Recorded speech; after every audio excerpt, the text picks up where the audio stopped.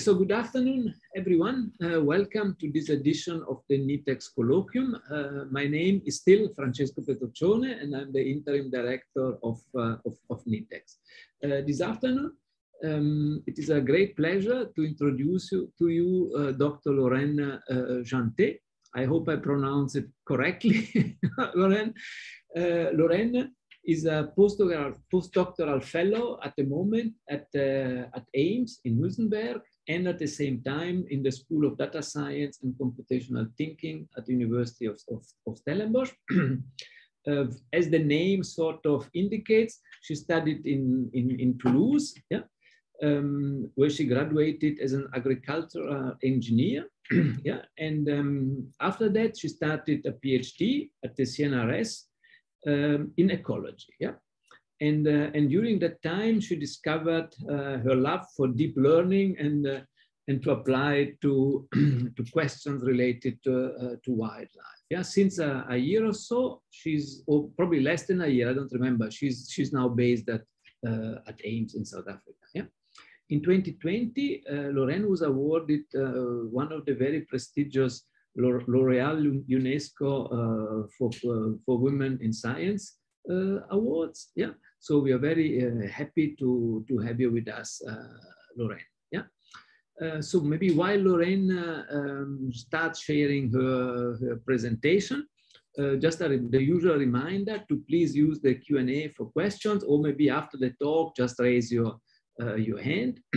and, doc, and Professor, sorry, sorry Professor Sinayskiy, who kindly acts as co-host uh, every time just to make sure that uh, everything runs smoothly, We'll monitor the Q&A and uh, so that uh, Lorène doesn't have to stress with that. Yeah. After the talk, as usual, we will meet in Kumospace for a more relaxed uh, social, social gathering. So Lorène, if you would like to um, to start sharing your screen, you're most than welcome to start with your presentation. Thank you very much. Yeah, thank you. So I'm going to share my screen. So yes, so now I guess you can see my screen. Yes, yes, yes, perfect. Thank you very perfect. much. So yes, so I just have to. Very nice slide. so thank you everyone for joining us uh, for this talk and thank you for, uh, for this introduction and this opportunity uh, that NITheCS give me to present my work. So I'm Lorène Jeantet and uh, I think it's not the first time uh, that you hear talk about machine learning in ecology. And uh, to my knowledge, there were at least two talks about it at NITheCS Colloquium. And Indeed, the machine learning is becoming more and more used in ecology as big data and repetitive uh, tasks uh, can be can be frequent. So, but it's still fairly new in ecology, and maybe because machine learning can require very advanced uh, math and uh, math and programming skills. I don't know. But um, from my part, I'm I am not a real bio, uh, computer scientist. I am not, I think I am not a real biologist either, but I am more between uh, both. And I'm just uh, trying to build uh, the bridge, the bridge between these two fields, uh, as a, if I can say that. And uh, today I'm going to, to show you two examples of application of deep learning in conservation, in conservation ecology in which I have been uh, involved. So I don't know how familiar you are with deep learning and with ecology, but I tried to do um, a presentation for the non-expert in deep learning and ecology. So I hope it will be clear, but if you have some question, yes, don't hesitate to, to ask. So um, before uh, going deeper in the subject, just a quick reminder of uh, what is ecology and why do we need to monitor wildlife. So ecology is the study of organisms and how they interact uh, with the environment around them. So all of this will try to include all the relationship between living organism and, um, and between the habitats. So it's generally the study of how an ecosystem functions. So, but important too, uh, ecologists also study what, uh, what happens when ecosystems do not function normally. And I think this is why ecology is gaining popularity because with the global warming, uh, the ecosystem are being disrupted with rapid uh, change, changes. And it is very important to understand how species adapt to the rapid changes, how they're facing. So that's why we need uh, to, to, to protect, to study them, to protect them. So, and I think that is the point. So, so because you know that biodiversity is declining at an unprecedented rate, and uh, in, two, in 2019, the Intergovernmental Science Policy Platform on Biodiversity and Ecosystem Services, so the IPBES, uh, estimated that about 1 million animal and plant species are now threatened with extinction. And it is mainly due, due to human activities, so the anthropogenic pressure. So that's why uh, if we want to limit this decline, we need to understand how species use their environment, interact with, uh, with it to find uh, the adapted protection measure. And uh, one way to improve our knowledge on endangering species in the environment with limited disturbance is to monitor them to identify their behavior. And in this way, we would be able to know uh, their time budget, their population dynamic, their energetic strategy, and all of this. So the question is, uh, how do we study threatened species in the environment with limited disturbance? So for example, here you have a beautiful sunfish that may uh, be observed at the surface, uh, like, uh, like this, diver is, this diver is doing. But what happens when it decides to dive to a depth of uh, 800 meter? So uh, one solution that have been found is to use the animal itself and involve it uh, in the monitoring by deploying onboard sensors um, and uh, like you can see on this picture. And indeed, the use and development of onboard sensors have revolutionized uh, the study of living organisms and allowed uh, the creation of the new field as biologging science. So a definition of biologging science may be investigation of phenomena in or around free-ranging organisms that are beyond the boundary, the boundary of our visibility or experience. And this is that the idea. Thanks to the deployment of onboard sensor that will continuously record uh, high resolution data on the animal and its environment, we are now able to go beyond the physical limits that the environment and the movement capacity of the animal uh, can represent to study them in their own environment. So it's very a huge revolution for the study um, of living organisms. And um, so this is what I used uh, during my PhD to study a species particularly difficult to observe in its environment. So it's a sea turtle. So I did my PhD in France at the National Center for Scientific Research, so the, the CNRS, uh, supervised by Damien Chevallier. And I tried to answer to this question, uh, automatic identification of behavior from biologgers, a solution to improve our knowledge on the ecology of sea turtles. So just a quick reminder about the decline of biodiversity and the situation of sea turtle. So there, uh, there are seven species of sea turtle in the world and six are on the red list on the IUCN red list of threatened species. So the IUCN is the International Union for Conservation Nature. And the only one not listed uh, is because we don't have enough data on it. So it's a flatback turtle that you can only find in Australia. And just an example of the decline of sea turtle population, in French Guiana, uh, in South America, at Awala Yalimapo, which is a particular area where we where the CNRS work. Uh, for the leatherback, so it's a big, uh, it's the biggest sea turtle, and you can see on the picture on the on the right. Um, the number of nests per breeding season has dropped uh, from 50 uh, 50,000 nests in the 1990 to less than 200 nests in 2019, so in French Guiana. So there is a, a very huge decline in French Guiana and we need to understand what happens to identify the threat. So even if we have an idea, we have to, to, to study them and to try to know uh, what they do underwater, uh, close to the Guyanese coast, to know exactly uh, what's happened and why uh, the, the population is declining. So to do that, uh, we use so a biologger, a sensor, and uh, the sensor that we use in particular is the accelerometer. So an accelerometer, at least the one we used, uh, is a piezoelectric sensor that translates uh, the forces exerted on a mass into wave-like uh, voltage signal. So as I tried to represent with this uh, picture, so the force exerted on, on this mass will be the gravitational force, which uh, gives you uh, an information on the posture of the animal.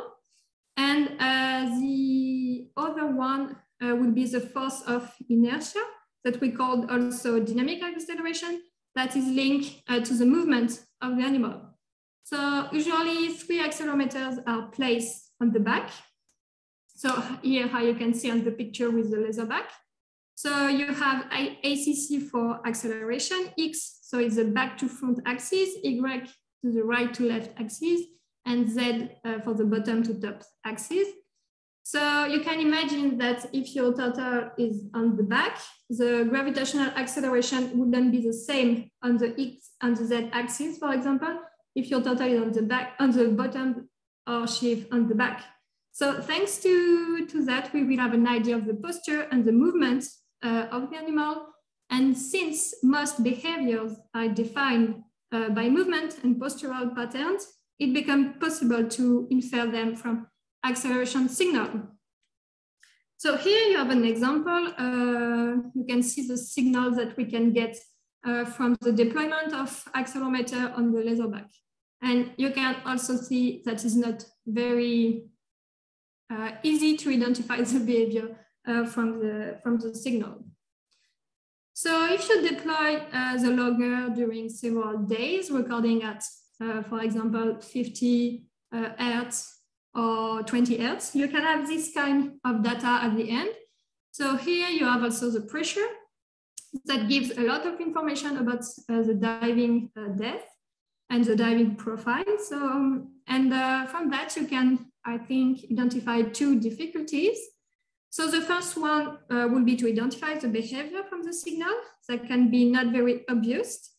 And the second one is even if you are able to understand uh, what happens on the signal, as some behavior are quite easy to identify, like swimming, breathing, resting, you will need to zoom on the, dat on the data uh, like this, so to have a slight windows and then uh, slightly move the window over the time uh, to identify the behavior. So here from the window, you can see some behavior. So here it's mostly swimming.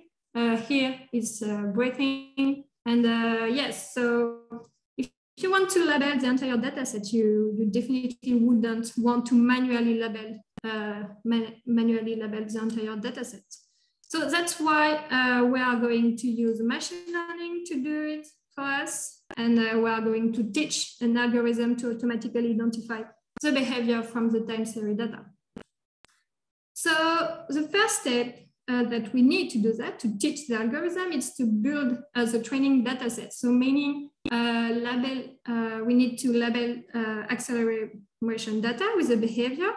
So we called that also the validation of the signal because we it allowed us to know exactly um, how to associate with which behavior uh, each uh, acceleration signal. So for that, we use uh, this kind of technology, which is an onboard camera combined, combined uh, with an accelerometer and depth, depth sensor uh, that we deployed on green turtle in Martinique. So uh, as you can see on the picture. So the device is attached to the carapace using four suction cups, and there is a time release system that allows the remote uh, release of the device several hours later. And uh, that you can see here at the back of the device um, is a, a, an Argos uh, tag that allow us uh, to geolo geolocate the recorder when it floats on the surface after the time release system uh, drop off the, the, the camera. So yes, now we are going to slightly switch to from leatherback to green turtle. They are also endangered species with declining population. Uh, but we start to do this validation on green turtle in Martinique. So Martinique uh, is a, a, French island in the Caribbean that you can see here. And here you have French Guiana, so not so far. But the thing is, it, it's uh, in French Guiana, the water are very muddy. So thus we couldn't see anything from the video recorder. So that's why we prefer to do that in the turquoise and warm water of Martinique. And that was very nice. And actually this population in Martinique of green turtle, which are immature green turtle, uh, face also many threats. So we also want to do what's happened in Martinique uh, to try to protect uh, the population. So we started by validating the acceleration signal with the video recorder. So we deployed the camera on uh, 37 individuals, uh, but only uh, but completed dataset including video acceleration and depth value were only recovered by for 30 individuals. Uh, we obtained 66 hour of recordings and precisely identified 46 behavior based on the acceleration signals that we grouped into seven categories. So um, we have the swimming, gliding. So gliding is when the turtle swim, but using uh, its bios, uh, buoyancy. Uh, breathing, scratching. So when its turtle can come to rock uh, to scratch. Feeding. So uh, here we have um, um, uh, herbivores, so they grab uh, the sea grass, resting, and other, it's all the other behaviors that couldn't be included in the six categories. So here's an example uh, of the video recording uh, to, to give you an idea of what I could analyze during several hours. So I hope it works on your computer too. So I watched uh, all the 66 hour of recordings and annotate the precise start and end time of each behavior that I could uh, identify on the record video recording and uh, recordings. And thanks to that, I was able to accurately label the entire dataset with the behavior, as you can see on the right of the picture. So yes, um, the analysis of the video is quite a tedious work that can require a lot of time, but it is always a pleasure to dive in the intimacy of the sea turtle, as you can see here. So this was an interaction that you couldn't see very often uh, for sea turtles, so it was very a pleasure to, to see that when you analyze uh, the video recordings. So then we have so our training data set with all the acceleration signal uh, labeled with, uh, with the behavior. And so now um, we still have to train an algorithm to do the work I did from the video recording to automatically identify uh, the behavior from the raw acceleration and depth data. So to do that, we use a fully convolutional neural network, so the VNet. So to present the VNet, so it was originally uh, developed uh, by Milletari and colleagues uh, for 3D biomedical uh, image segmentation to precisely identify an organ of interest in the picture. So if I'm so if I'm, I'm, I'm correct, I think it's a prostate, uh, prostate that you can see here. So it means that for each uh, pixel of the, of, the, of the picture, so I, I know for a 3D picture, we can't say pixel, but I don't know exactly the name. So I would say pixel. So for each pixel of the picture, uh, the VNet will say yes or no, or one or zero if the pixel belongs uh, to the organ of interest. And that is ex exactly what we want for our data, that for each row of data, um, we want the VNet uh, predict the behavior. So the VNet owns its name to its architecture that you can see here in bead shape. And the thing uh, that is interesting is that there is no dense layer. There is, uh, that is normally the case in deep learning model, but the main operation is a convolution. So that's why we say that the VNet is a fully convolutional neural network. network. It's because they mainly do a convolution operation. And so maybe for those who are not very familiar with convolution, so convolution, what is it? It's when you pass a filter uh, on, for example, a 2D uh, image that will perform a mathematical operation and bring out certain uh, characteristic of the signal. So that's that we call a feature map. So here you can see there were uh, different filters and according to the operation, uh, some uh, characteristic of the image would bring out. And, um, and then the training of the algorithm will determine which feature is useful uh, to identify the, the image. So in our case, we adapted the VNet to fit with the 1D time series. So thanks to the collaboration uh, with Vincent Vigon, a professor at the University of Strasbourg.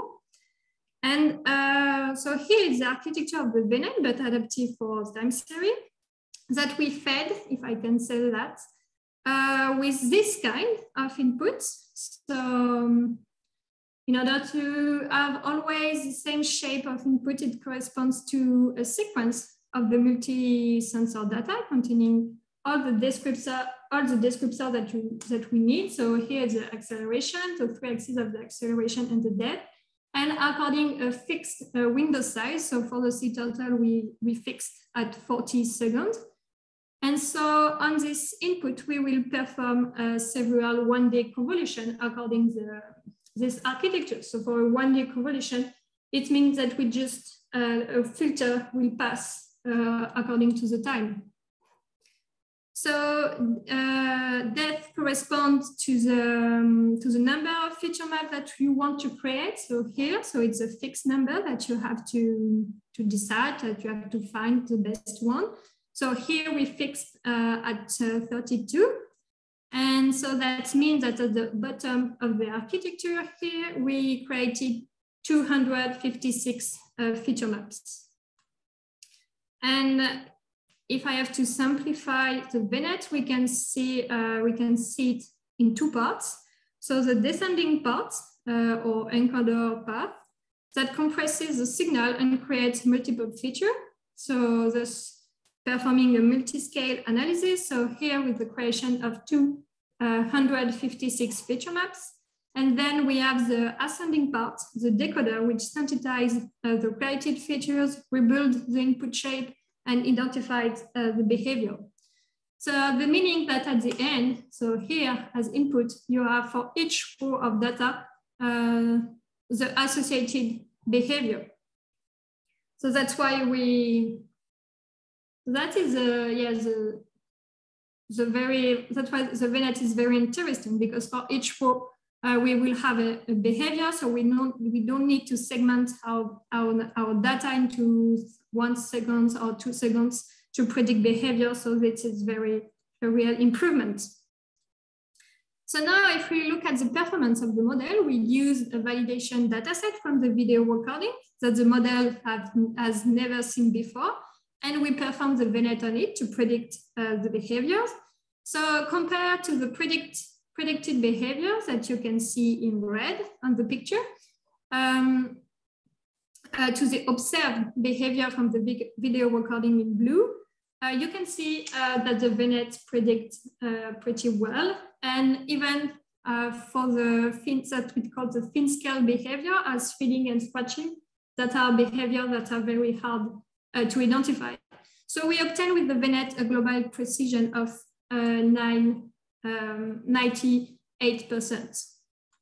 So, which is nice, I guess. And uh, from that, we were able to build uh, the time budget of the individuals, so meaning the time allocated to each activity. So here you can see the time budget that we obtain uh, from the video recording and the one we obtained from the prediction uh, of the VNet. So, and they are quite similar. So, so we can see that it's a good result. And so now that we have trained the model to automatically identify the behavior of the green turtle from the biologger, we want to apply it uh, on long-term recording, so in, in Martinique. So we equipped uh, 21 individuals in Martinique with only accelerometer and depth sensor, and we deployed from five, uh, from three to five days. And then we applied the VNet on the recording data, the recorded data. So here that you can see the result of the deployment. So gyroscope is another sensor that we use, uh, which gives indication about the angular velocity. And the color indicates uh, the behavior predicted by the VNet.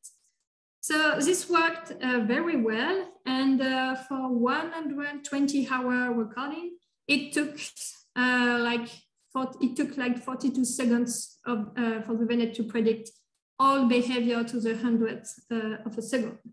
So it's a very nice tool, I can say. And from that, so thanks to the identification, it was possible to associate the dive profile, so that you can see here, uh, obtained from the depth, uh, to the behavior mostly expressed by the individuals uh, during the dive. So here the color represents uh, the behavior that was mostly expressed during the, the dive for one individual. And you can see uh, for, for example that uh, this turtle will tend to feed in the early morning. So here, here, here, and early afternoon. So here it's early, early afternoon and this early afternoon and will make deep dive either to rest or to swim uh, during the day. So like here or like here. And now we are very wondering why this individual made, for example, deep uh, swimming dive in the middle of the day. So what is the biological interest uh, of this dive? So new, new questions have uh, somehow emerged from this study, which uh, it's uh, also good news. And uh, so other very uh, interesting information that we can get from the identification of the behavior is the identification of the resting and feeding area. So here you have the GPS dots, uh, because on the logger, there were also GPS. And uh, so here you can see the behaviors associated, so predicted by the VNet uh, for several individuals. And you can see uh, that some area are more specific to feeding uh, and other for resting. So for example, in Europe, you have an area where green turtle seems to rest during the day, while this seems to rest during the night more to the south of the bay. So yeah, so now uh, we know when they feed, when they rest, and where and where. So now we are working uh, with the marine park to try to implement uh, conservation measures as quiet, uh, quiet zone so which would be protected areas for a certain period of time uh, to limit the disturbance of marine turtle and, and limit their interaction with human activity, but important too, while allowing the economic uh, activities of the island.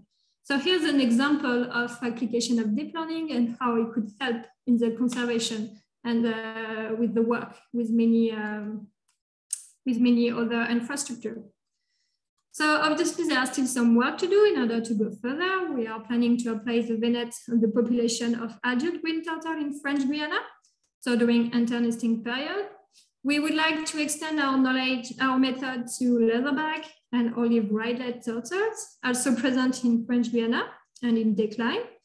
And uh, for this, um, um, validation must be done for each species and as well as uh, specifically trained VNet before application. So it's still some work. And finally, we are currently working on the web interface to visualize the data obtained uh, from the biologger associated with the, with the behavior predicted uh, by the VNet, as you can see on the right, and with the, the GPS. So thanks to the help of uh, Sebastian Geiger of the CNRS. So yeah, we would like to implement also the VNet interf interface to allow uh, all turtle accelerometer user to use it. But for that, obviously, uh, we have to, we need uh, to, the training data set of the VNet has to be expanding from the population to increase the variability and to generalize the model. So yes, we have still some work to do, but it's already uh, a good example. But um, so that was for sea turtle during my PhD. But now uh, I'm going to jump in uh, other subjects, completely different, but uh, which use also much deep learning. So, so it's a subject that I've just started to work on it for my postdoc at AIMS, so supervised by Emmanuel Dufourcq. And it's another example of application of deep learning for monitoring wildlife, but this case, it's about passive acoustic monitoring and Hainan gibbons. So gibbons are another endangered species classified as critically endangered, which is the last statue before extinction. So I know my presentation may seem a bit depressing, but it is really to show um, how deep learning can help and, uh, and that we must remain optimistic. So I don't want to depress anyone. But yes, so the gibbon are considered as the rarest primate and among the rarest mammals. And uh, that is very sad. But so according to this study, so um, hunting and habitat laws have reduced the species to a single uh, population in Bawangling National Na Na Nature Reserve in China. And they estimate that the total population size now likely exceeds uh, 30 individuals, which is a news, good news because in, two, in 2017, they estimate the population size at 50, uh, 25 individuals. So there is a, still a, a good news, even if there are still uh, very, there are still very few individuals. But so the gibbons so are living in the Bawangling National Natural Reserve that you can see here. So they were, so here that you can see the white dot uh, represent uh, their location that, uh, so they were located in 2010 and 2011 in the, in the park. So since they may have slight, slightly changed uh, the location, as you can guess, but it's not so easy to find them and observe them in this dense forest of the reserve, and this it can be uh, quite complicated to go there. So a solution that has been found, it is to use uh, passive acoustic monitoring. So here that you can see uh, indicated by a number, uh, it's the position of uh, acoustic recorder deployed at different place uh, for, to record several hours uh, to see if we can record the call and identify the call of the gibbons and try to identify the population dynamic, their home range, and potentially how many individuals they are. So I think it's a, it's a work uh, done by a Canadian uh, team, if I remember well, from Emmanuel Dufourq. So they deployed eight song meter recorders in, two, uh, in 2016. So as it was indicated uh, by the number in the previous picture. So here you have an example of the acoustic recording given by Emmanuel uh, during uh, his previous presentation. So it's not exactly the Song Meter SM3, but it's just to give you an idea so of the of the recorder that they use. So we can attach them to, to trees and at certain heights and program them to record several hours over a certain period. Uh, so in this study, they were programmed uh, to record for eight hours uh, each day from the time of sunrise. And at the, uh, at the end, they collected uh, 6,000 hours of audio recordings at a sampling rate of 9,600 hertz. So it represents a huge amount of data that you then have to analyze. Analyze. So how do we analyze some data? So here's an example of audio recording from forest in France. So um, I will try to to, to make you listen the, the song, but I am not sure if it would work in your computer.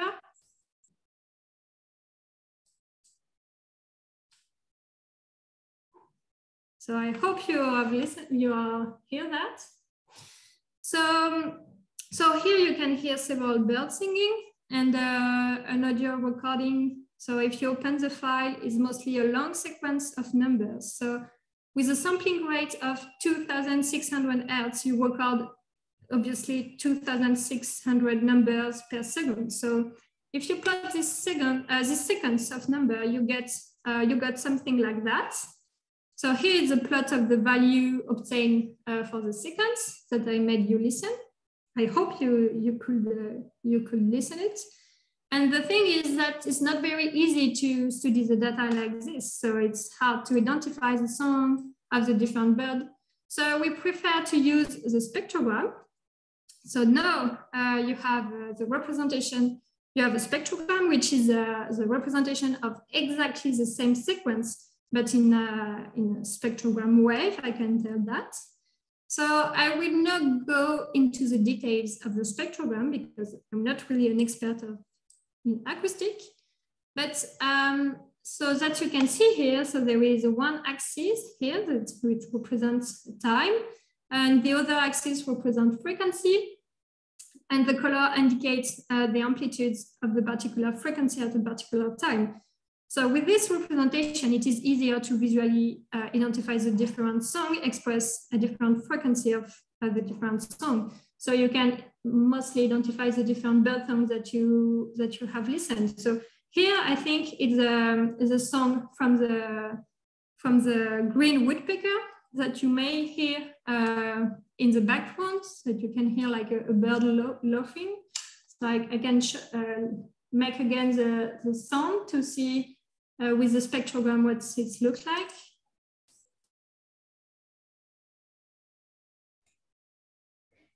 Sorry, Lorène. I, I don't think that yes. we could hear the I don't think that we could hear the sound of the song. You can't hear the song? No.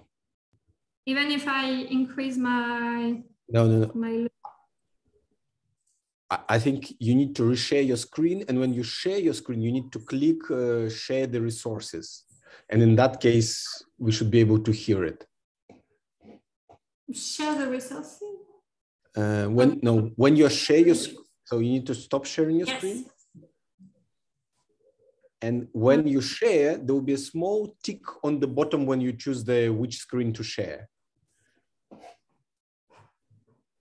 Yes. But it, it's okay. I think I, we just keep going. Okay, okay, okay. That's and fair enough. That, but,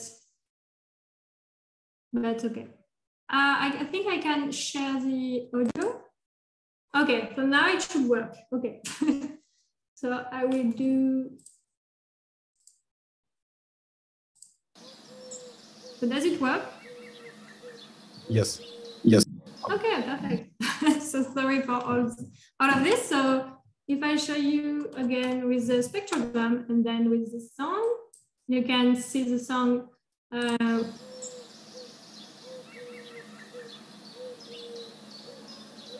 yes, so that's it. So you, you hear a lot of birds singing and from the spectrogram it's possible to visualize uh, the bird, uh, the, the song of the bird. So here I think it's a, it's a green um, woodpecker that you, can hear uh, at the background uh, of, the, of the song that I made listen.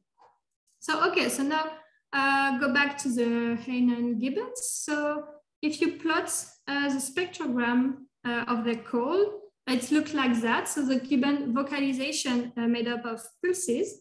So here you can see, for example, uh, one pulse. Is here it's two pulses, three pulses, and the duet.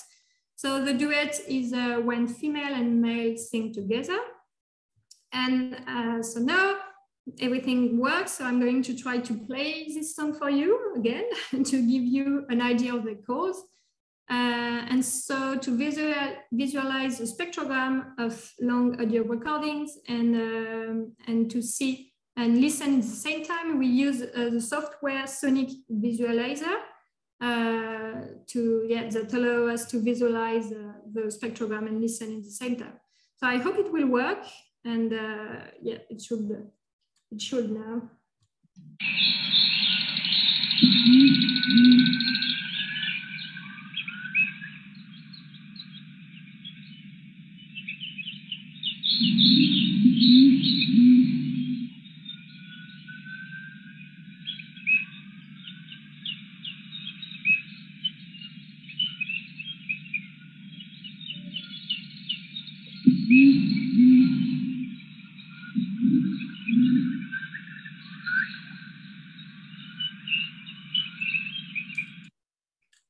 So yes, and you can see it's not very easy to identify. Um, I found it's not very easy to hear this song, and um, yes, so. So here you see the, the, the spectrogram, you see the, the duet, but from the song it's not very easy to identify. And there are many other animals and bird song uh, that you can hear. And still you have to analyze, analyze uh, 6,000 hour of audio recording. So it's not something that you want to do manually for sure.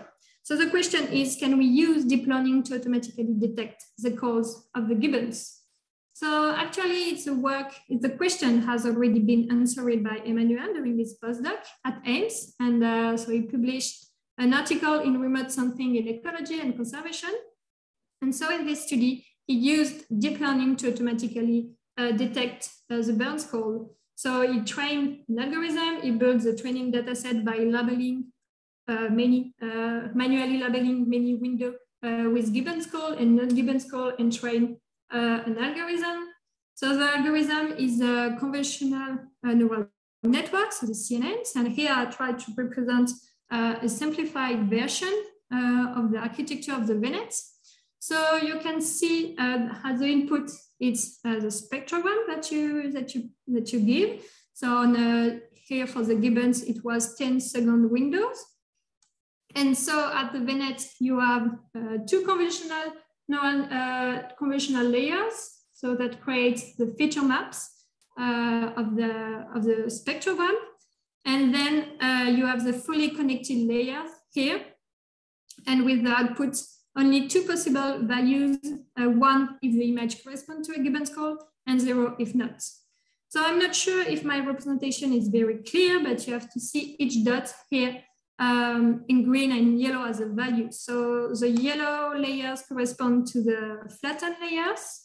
So this operation consists of converting the 2D image into a 1D uh, matrix and this image by flattening and uh, then you have the fully connected uh, layers. So each dot is a value called so a neuron, and um, and each neuron is connected to the other, uh, represented by this line. So I didn't uh, do all the line, but you have to think that each neuron is connected to each uh, to each other, and this line represents also a mathematical operation uh, with a weight that will be um, activate or not according the interest of this operation uh, while doing the training uh, dataset, while doing the training uh, process.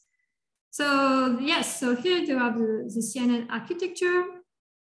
And so from the, the, the work of Emmanuel, it works very well. Obviously, I have presented a very simplified version of the method, of the method and other architectures have been tested in this study, as well as data augmentation processes. And I invite you to read the article if you want more information of the method developed, of the method developed. But so here that you can see, so in purple, the Gibbons call manually labeled, uh, to train uh, the algorithm, and uh, in white, uh, the prediction of the CNN. So they got, uh, he got very good results, but sometimes it is possible that model wrongly predict a window of data as Gibbon call, as shown in this picture, that's a, that we call false positive, uh, false positive segment. And if the number of false positive is too important, it could be very annoying. So um, it is where I'm coming. So we are now working with Emmanuel to improve the bioacoustic classifier as the one represented and uh, we are thinking that adding contextual information as the location and time of recordings uh, can help to enhance the classifier. So uh, we call this contextual information uh, the metadata. So first result method that we have tested is that the multi-branch CNN architecture. So meaning uh, that now uh, the model would have two inputs. So the, the first one is the classic one with the spectrogram and the other one which correspond to the metadata. So here the input two. And uh, so the first step that we have to convert uh, the metadata uh, like time and location in latitude and longitude into a 1D matrix that contains the information that the CNN will be able to use, concatenate uh, this information with the flattened, uh, flattened layers and obtain uh, after the convolution layers and see if the CNN can use this additional information to detect the gibbon calls. So with the gibbon calls uh, metadata, we first started to add uh, the, try the time information. So unfortunately, unfortunately for us, some audio recorders recorded during the night due to the programming problems.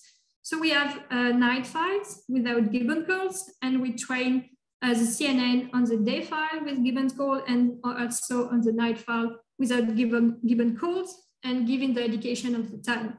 So here, um, so here I'm now going to show uh, the results. So if you predict uh, over an entire night file, you obtain several false positives as in this picture, um, which represent audio recordings of a night file. So in, uh, in, pink, in white box represented as a prediction for the classic CNN, and in yellow, the only prediction from the multi-branch CNN. For this particular night file, uh, we got 10 false positive from the classic CNN, which not so bad because it's on one hour of recording, but still we have to work on it.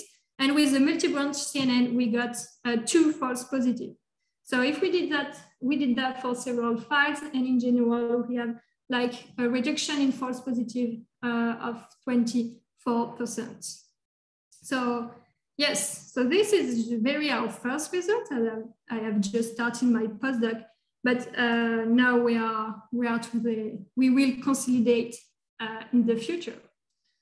So yes, of course, we want to go further and consolidate all this. So in particular, we would like to add uh, location data and see how far we can go in terms of accuracy of the location. So for that, we are working uh, now on a bird, song classifier and a data set from Xeno-canto. So I don't know if you know this database, but it's a worldwide public database, database where people uh, enter the identified bird songs and indicate the date of recording at the place. So we want to test if thanks to the loca locations and the spectrogram, the classifier is able to, to identify birds and if they are close in song but live on different continents. And this could be very interesting to generalize uh, the models. So I also present you uh, one method to add metadata to the classifier, but there are others. So we have to find the best one. And I know there is another one that I would like to try that, that I would like to try.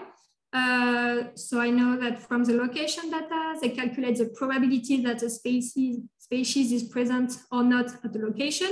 And it's this probability that uh, then uh, is used by the model afterwards. I would like to try uh, this method. And we are also interested in reducing the weight of data and models. So we have several projects on this topic.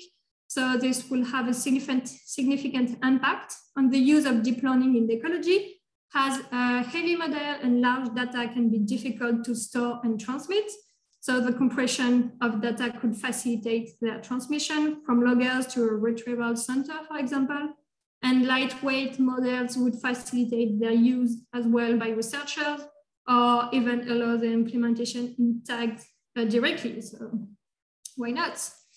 And yes, so we have also many, many of the projects. And uh, if I have to conclude, because I think it's time. So uh, to conclude, uh, is yes, is that the deep learning is in its early stages in ecology, and there are still many things to work on to discover and uh, and uh, to yeah to to find and uh, with always maybe this main objective of facilitating the work of researcher uh, in the realization of tasks that could be tedious and repetitive and yes, just to, to work to improve the knowledge of species in danger of extinction to try uh, to limit the decline and protect them. So thank you everyone for your presentation. I hope this presentation was clear and interesting. Um, so yes, of course, this work is possible thanks to many organizations and people that I would like to thank uh, in this slide. And uh, yes, of course, I would like to thank my supervisor during my PhD, Damien Chevallier, and for my in doing my postdoc as well, Emmanuel Dufourq. So to allow me to work on this uh, beautiful conservation project. So thank you very much. And if you have some question, I would be very happy to answer it. Yeah, thank you very much, Lorène. It was a fascinating talk. And uh,